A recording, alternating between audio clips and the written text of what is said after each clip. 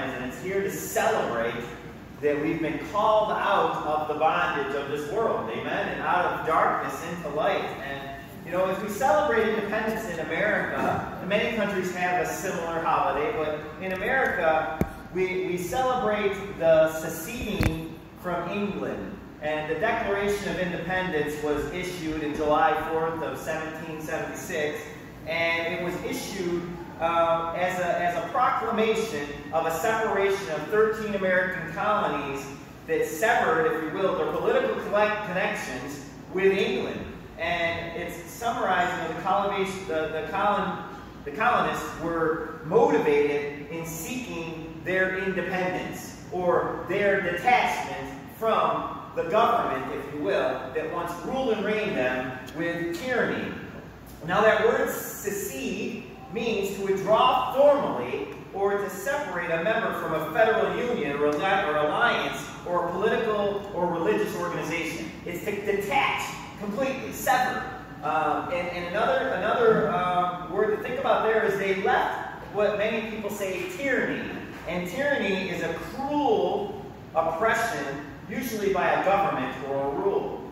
Now, I don't think we can help but go back into um, the scriptures that we are going in through Exodus on Thursday of Israel being pulled out from underneath the slavery and the bondage that they were under in Egypt for 400 years. And the Lord performing a miracle to pull them out from underneath that slavery that once captivated them, held them, and not only that, killed them and was, was destroying them. Uh, even though we know we can't destroy God's children, they were multiplying the slaves, but they were being killed, literally being um, sent in, the walls that they were building for Pharaoh and, and being shoved into those, and even hay was taken away as God was saying, Let my people go. He all the more put this tax and oppression upon them. And you remember the Boston Tea Party was, was getting rid of taxes that we were paying to England and all these things has kicked this whole thing off. And there's a tax that Satan's always trying to put on men and women and people. A tax that you think you're getting away with something, and yet there's a penalty. There's a price that you never realized was going to be there that comes later. You know, we all are trying to save up our taxes for our houses and don't realize it's coming. You know, we know, at least we're aware, well, Satan has an un, uh, unaware tax that's on us. A lot of times it doesn't come until you least expect it. And he says, you owe me now. And he's a liar, and he has this, he's a wicked tax master, taskmaster. And we're slaves, you know, to this world and to the God of this world. And yet the Lord says, Come, be my slave, be my willing bond servant, and even more than be my willing bond servant, come be free. Come serve with me as a friend. Come be liberated from this incarceration that you once were part of. And Romans chapter 6, verse 15 says, What then? Shall we sin because we're not under, uh, under the law, but under grace? And he says, Certainly not. Do you not know that whom you were present or present yourselves to, slaves to obey, you are the one slave and to whom you obey, whether the sin leadeth to death or obedience which leadeth to righteousness. But God be thankful, thanked that through you were though you were slaves to sin, yet you obeyed from the heart that form of doctrine to which you were delivered. And having been set free from sin, you become slaves now to righteousness. I speak in human terms because of the weakness of your flesh. For just as you were presented, uh, just as you present your members once to slaves to uncleanness and of lawlessness, uh, leading you into uh, uh awfulness uh, unlawless, so now present your members as slaves to righteousness for holiness. For when you were slaves to sin, you were free in regards to righteousness. What fruit did you have then and there are those things which you are now ashamed? For the end of those is death. But now, having been set free from sin and having become slaves to God, you are fruit and holiness to holiness and the end of everlasting life. For the wages of sin is death, but the gift of God is eternal life in our Lord Jesus Christ. We have tough taskmasters. We think sometimes it, it, it bewilders me that we've been free and we have these liberties in America. People come from all over the world and they break down the doors, if you will, and even sneak in to experience those liberties, to, to flee the oppression from the governments that they were once under. And they will put their lives at stake to do this. Sometimes piling people into rafts coming over from Cuba, so much filled that they're risking sinking. One more person. Let's fit one more person. Let's get there. Let's get to that promised land. Let's do whatever it takes. And the problem is, is that's great. That's the heart that many have to get out of the world and the oppression of the sins that they've seen, that once captivated them. Those addictions, those things that once enslaved me and caused pain and grief and sorrow and burdened me, now I've come to be free in God. Free me, Lord, from my addictions. Free me from alcohol. Free me from drugs. Free me from porn. Free me from these things, this self-centeredness. Free me from my consumption that I've eaten and eaten and eaten, and all it did was make me fat. As a matter of fact, gave me diabetes and made me lose limbs because of it. It's killing me. Free me.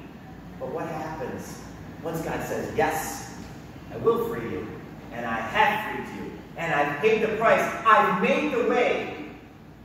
We forget our taskmasters from before. And we want to run back to them. Isn't it exactly what Egypt did?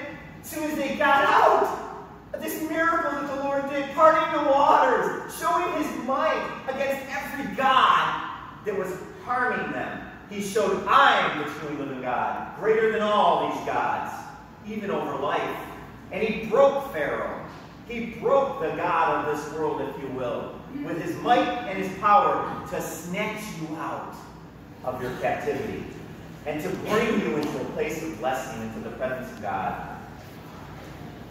Is anyone cold here? If you're cold, you can turn it. Oh. But if everyone's No, sorry, sorry. I just usually sit like that. All right. I, you just conscious of. Oh, But it's great here. It's nice and cool, but I don't, Yeah, I don't want anyone to actually perfect. Oh, okay, Thank you. yep, praise the Lord. So as we're coming out of these taskmasters, we can forget and we start to think about the pleasure again. Those needs that were met. This, at least my needs were met. They said I, I had water there and food there. No, do you realize that this that literally he was taking the food away from him and saying, do double the work? They forgot. How quickly we forget when we're pulled out of that. And so there's these taskmasters that we still have in this world, and as you're in the flesh, sometimes we yearn to be encapsulated again, even though God says, I've set you free. What are these taskmasters? Well, we know sin. Sin is a taskmaster. We know the, the one who's the creation of this, or the, the spawner of this sin, the father of lies and deception. He's a ta- taskmaster. He's a brute, and he's a cunning one at that. He will, minister, he will make himself a minister of light to embroider you, to woo you, and then grab hold of you and want to destroy you. The devil is a taskmaster, uh, a tough taskmaster. And then also we know that the flesh can be a taskmaster. Our own selves, our very selves, are sometimes our worst enemies. We get up and we say, I want what I want when I want it, I want to rule. And we put ourselves back under our own governance. Right? Like Jacob. Heel connive, heel catcher, conniving, trying to get what I want. And then, of course, we know the law can be a taskmaster. The law of God can bring condemnation upon each and every one of us if that's what we want to live and hold ourselves to that standard of, which everyone has fallen short of. And by the glory of God, we've been liberated from the law. Not that it was wrong, but we couldn't achieve it. And now we've entered into the law of grace, the law of love. The law that the Lord Jesus Christ has made for us in liberty. So if we go to Exodus chapter 11, or chapter 1, verse 11, it says, Therefore, they did set over themselves taskmasters to afflict them with their burdens, and built Pharaoh, and to build Pharaoh's treasure cities in Pithom and Ramesses. In Exodus 3, chapter 7 goes on and says, And the Lord said, I have surely seen the affliction of my people who are in Egypt, and have need or heed their cry because of the taskmasters that are over them, for I am aware of their sufferings. So as you think about this, here he is putting these bondage on the people so much so that they're crying out, Help me, Lord, help me, Lord, help me, Lord. I can't take it anymore. They're crying out, just like the tyranny that some had for religious oppression and taxation and things like that from England at one point. And they're crying out, get me out of here. They've made it to America and they want us to see. They want to separate from all this. We get to this place where the burdens of the world, the sin of our life, start to come to realization and the fruits of them, and we say, Help me, Lord. Whenever you hear Egypt, it's representation of sin. It's representation of the very thing that's contrary to God, missing the mark, if you will. And this made the people of Israel cry out. How many of us in our oppression cried out for liberty? Cried out at one point. You were broken. You were at your wits' end. And the enemy had you checkmate you lose. And you said, Help me, Lord. Do we go back to that same enemy and entertain him? What's our second taskmaster? I said Satan. The one who's the root of these evils, the one who's planning these things, the one who's incarcerating you, tempting you to come away from God, to make yourselves gods like he thinks he is. In 2 Corinthians chapter 4, verse 4, it says, In whom God of this world hath blinded the minds of them which are which believe not, lest the light of the glorious gospel of Christ, who is the image of God, should shine upon them. So he keeps you drunk. He feeds you whatever it takes, like a drug dealer, to keep you out of your mind, to keep you blind from God It's what he wants to do to shield you from truth, to shield you from liberty, to shield you from freedom, to keep you bound, to keep you working for him until he chews you up and spits you out because he could care less about you. What he does, he's wretched. I don't think we even understand the partner that we sometimes choose, the one that we enter in with. He doesn't care about you in one iota. Never did, never will. He's a taskmaster. 1 Peter chapter 5, verse 8 says, Be sober, be vigilant, because your adversary the devil is a roaring, is a roaring lion who walketh about seeking whom he may devour. He wants you for himself. No matter what, you're just a commodity, and he wants to chew you up and spit you out. Just like us who chew up all these addictions and we can't stop, he devours. It's sensational until it ultimately kills you. And the Bible says, Jesus says, that when we lie, when we do those things that are of Him, you're of your father, the devil. That's who we all once were. You were under that lineage. But such were some of you. I've called you out of this. What's the third taskmaster? The law. The law, which brings condemnation. The law, which is perfect, in which our flesh strives to achieve, and yet all born in sin fall short. Only Christ Jesus has fulfilled the law perfectly and made a way that we can enter in or come out of liberty from the law which is there to condemn. It says in Galatians chapter 3, verse 24, Wherefore the law was your schoolmaster to bring you to Jesus Christ, that you might be justified by faith. By faith in God's goodness, in God's grace, in God's mercies. Not the works that we do lest we could boast. We can never achieve that, and yet the taskmaster of this world would tell you you can. I will be like the Most High. I will ride on the clouds. I will. This is what he said, deceiving all, trying to make himself a God. And he tells you you can do it too. You don't need God. It's by faith, not by works, lest any man should boast. It's by faith in the work of God Almighty. It's in the liberty and the light yoke which God has put upon you now, not the yoke that you could not carry and never will be able to carry. It's a tough taskmaster. It drives us to our knees at the cross. Checkmate. There's no other way. There's no other name under heaven by which you must be saved by the Lord Jesus Christ. Where are you running? What taskmaster are you looking for to give you liberty? What might or power or armor or weapon are you grabbing to free yourself? Won't work. Never has, never will. Are you tired, Paul, who walked in self righteousness? Killing? He said, It's me you persecute, as Jesus met him on the road to Damascus with a plan to kill the saints of God. It's me you persecuted, Paul. You're strong with your words, with your authority, with your power, but it owns you. Don't you see the pricks that I'm showing you, trying to give you the light yoke? You're looking with your eyes. Let me blind you and open your eyes to me. Let me show you the liberty. The great liberator. Like Moses, used as a type of Christ in Egypt, as God chose him to come and to free his people, Jesus was sent in a much bigger scale. The realization of freedom, the truth of freedom, he came to the world to free the world. Not just Egypt, but the entire world from all of these taskmasters. Every single one of them. John says in John chapter 12, verse 32, And I, if I be lifted up from the earth, will draw all men unto me. All men.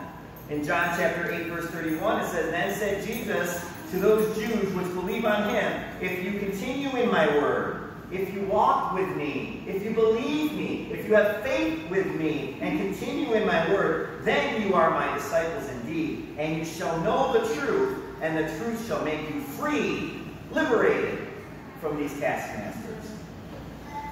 They answered him, We be Abraham's seed, and were never in bondage to any man. How sayest thou, You shall be made free? And Jesus answered them and said, Verily, verily, I say unto you, whosoever committeth sin is the servant or the slave of sin. And the servant abideth not in the house forever, but the Son abideth forever. If the Son therefore shall make you free or liberated, you shall be free indeed. Who are we choosing? What God are we choosing? Me? Me? Come on, look in the mirror. You know. Matter of fact, you don't even know your full wretchedness. The Bible says our hearts are wickedly deceitful above all things. Who can know it? Only God. And that He calls you from that slavery of even yourself. He calls you from the slavery, from this powerful dark angel who rules right now in this world, who's a lot smarter than you. A lot smarter. He says, I call you from that. I free you from that. I free you from the law which you're trying to keep, which you failed miserably. Let me liberate you. Let me empower you. Let me lift you. Let me give you everything you need to be righteous before my Father in heaven, to live eternally, and to walk free to free you from these things you've been stumbling with for years. John chapter 3, verse 16 talks about the love of our Father in heaven. He says, For God so loved the world, he gave his only begotten Son, that whosoever shall believe in him shall not perish but have everlasting life. Who's freeing you from your taskmasters? Who's liberating you? Was it the military that freed us from England? Is that what you believe?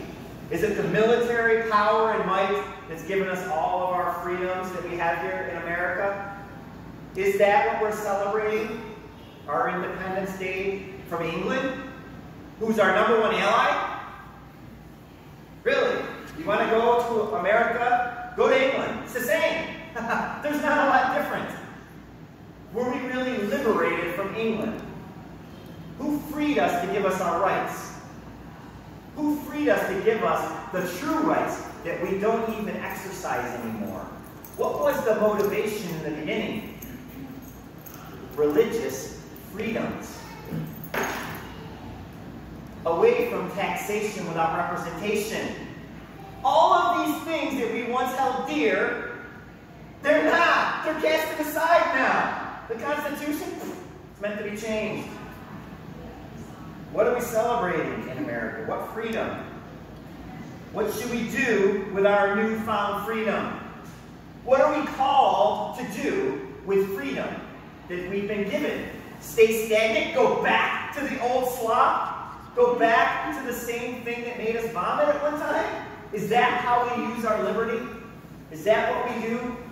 As America has become much, much more immoral, unethical, gone away from that very thing and gone to the thing that once we ran from to be free. And every day, more and more.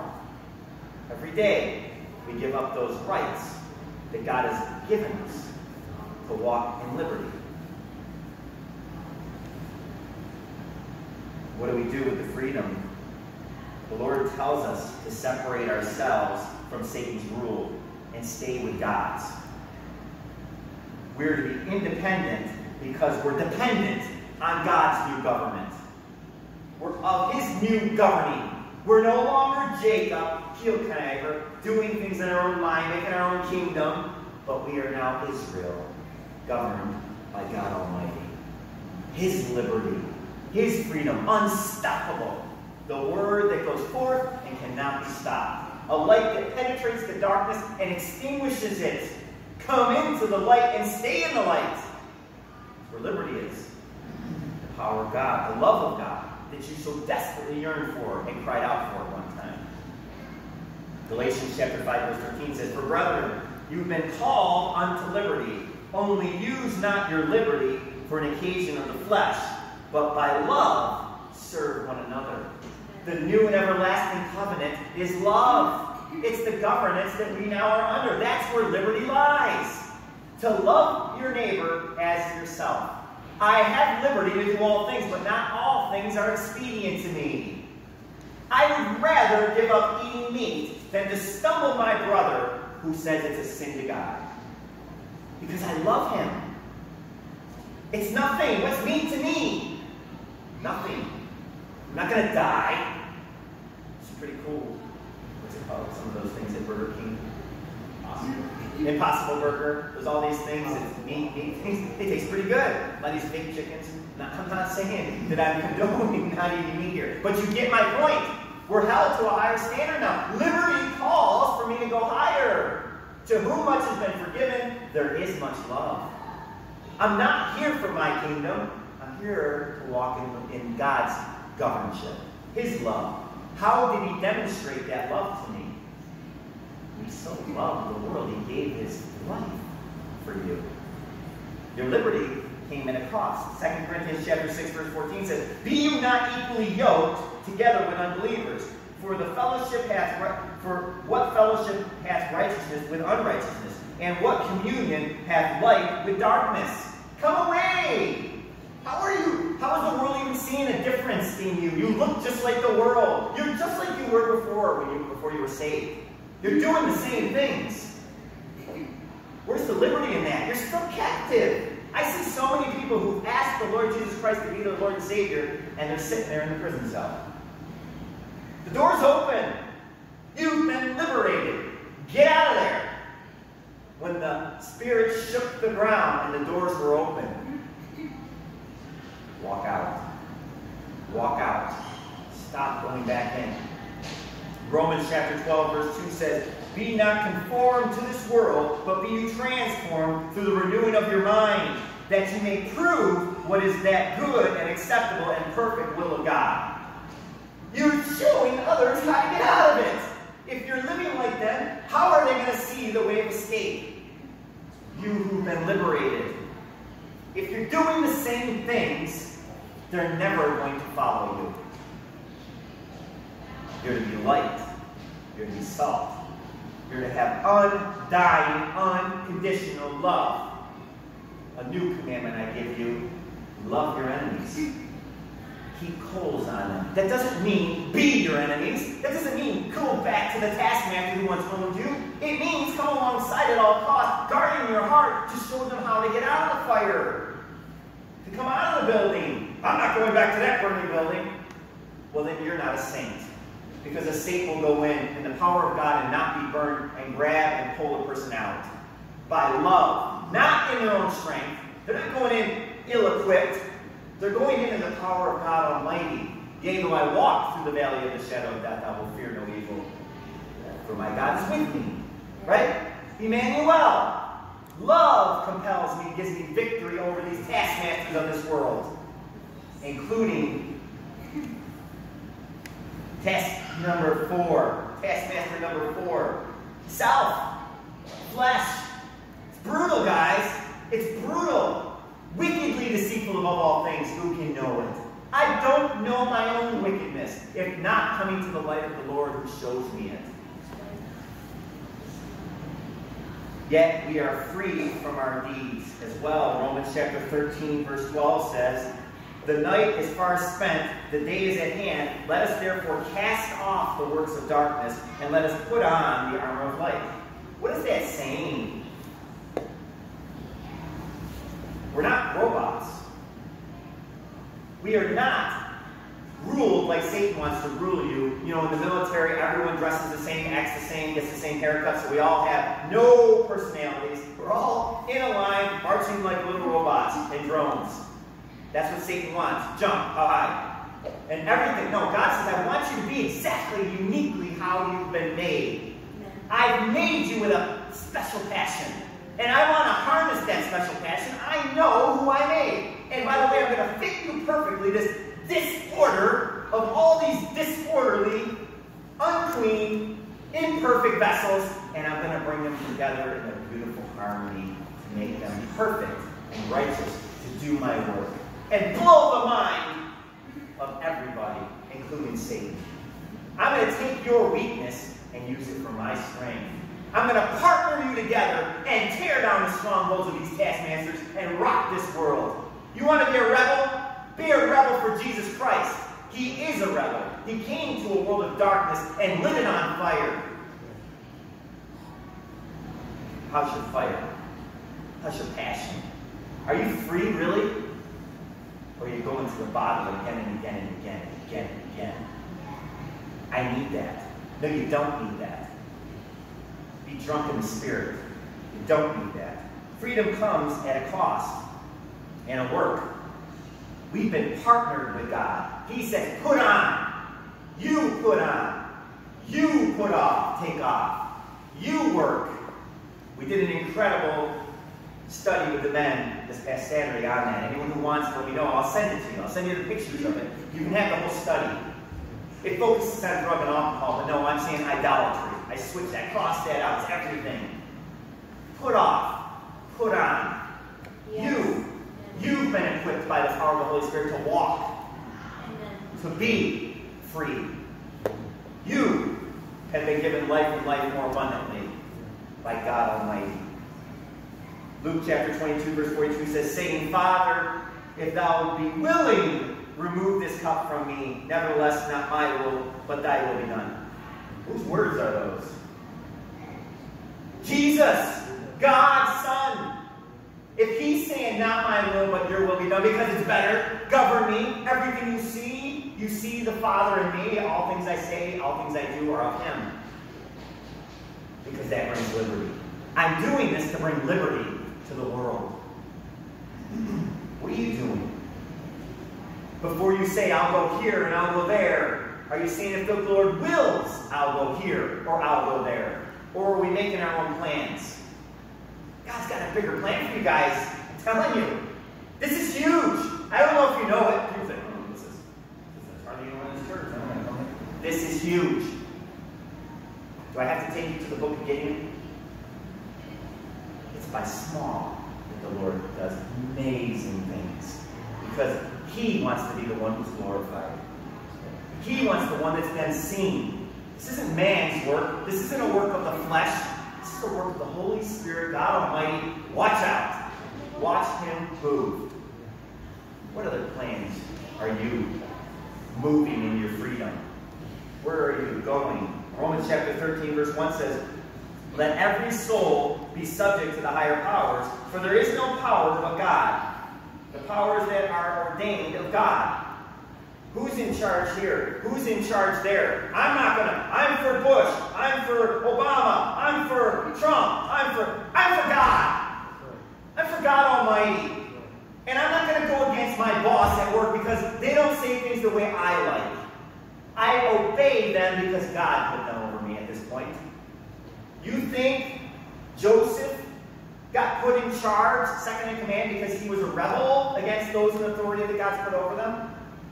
Because he wasn't free? No, he was freer than all of them. Even in prison, he was doing the work of God, liberated. Didn't matter where the world put Joseph, he obeyed God and got promoted because of it. Shadrach, Meshach, and Abednego. I could go on and on and on, right? Daniel. These men did what the Lord called them to do and honored those that were put above them, so much as they didn't go against God. And if they did, they stood up for truth. Not for silly things. Not for silly things that we're fighting over, that we're dividing over. Giving up our freedoms in America for. To fight, letting the taskmaster divide us over nonsense. In hypocrisy, by the way, because our flesh is the taskmaster that's ruling us. Let's carry the banner of freedom starting now. If you haven't been carrying it, let's carry it. Let's carry the banner of freedom. Let's wave it for the whole world to see. Let's be truth bearers. Let your light so shine. Let your freedom be seen among all men, that they would see your works and glorify your Father in heaven. Get on the rooftops and shout. Never has there been more time for us to show the love of God than now in this world. Never. This is a broken world. This is a ready, ripe for harvest world. Everyone says, oh, the hearts are hardened, the hearts are blah, blah, blah, blah. Yeah, they are. But, but never has it been darker, which means never have you been more light. Never have you been brighter and more powerful. Never has there been more need in the ministry here in America. We're going to have people come from other countries, England. I mean, I mean, not England. Well, it would be nice to have some from England. Get some money together, bring Diana here. But we need some missions, right? We brought missionaries in from Africa, from India, from all over. Here's where we need missionaries. You are the missionaries. You are the free people who need to go liberate those that are incarcerated. But if you're walking with them in their prison cell, how are you going to free them? And how are they going to follow you? Declare our freedom and the victory. John chapter 17, verse 16 says, They are not of this world, even as I am not of this world. Sanctify them through thy truth. Thy word is truth. As thou hast sent me into the world, even so I have sent them into the world. And for their sakes I sanctify myself, that they might also be sanctified through truth. Neither pray I for them these alone, but for them also which shall believe on me through their word, that they may they all may be one, as thou, Father, art in me, and I in thee, that they also may be one in us, and the world may believe that thou hast sent me. And the glory which thou hast given me, I have given them, that they may be one, even as we are one. I in them, and thou in me, that they may be made perfect in one, that the world may know that thou hast sent me, and hast loved them, and hast loved me. Father, I will that they also, whom thou hast given me, be with me where I am, that they may behold my glory, which thou hast given me, for thou lovest me before the foundations of the world. O righteous Father, the world hath not known thee, and these have known that thou hast sent me. And I have declared unto them thy name, and will declare it, that the love within wherewith thou hast loved me may be in them, and I in them. Sounds like a declaration of independence. Our real declaration of independence. Amen? 2 Corinthians chapter 5, verse 20 says, Now then, we are ambassadors, where our church name comes from, for Christ, as though God did beseech you or beg you by us, we pray in Christ's stead, be you reconciled to God. Come together to God. Let's get God's people out of the encapsulation and the prisons that they're in. Under the false governments, under the destroying governments, under the wicked taskmasters which they are part of. God bless America. That's what the country was founded on. God bless America. Not my rifle, not my gun, not any might or power of man, but by your Spirit, bless America, God. Bless America. We're going to close with a song by Kate Smith. Many of you have heard. God bless America, land that I love. Stand beside her and guide her through the night with a light from above.